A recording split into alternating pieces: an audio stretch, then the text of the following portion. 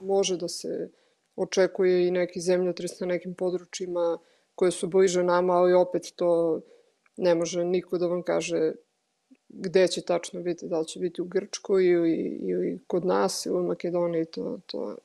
ne možemo da znamo, tako da ne treba uopšte ni da se plašimo ili sad da se pripremamo za, za tako neki jači zemljotres, nego prosto da postavimo, da vidimo kako će se to dešavati i da ne paničimo zbog toga.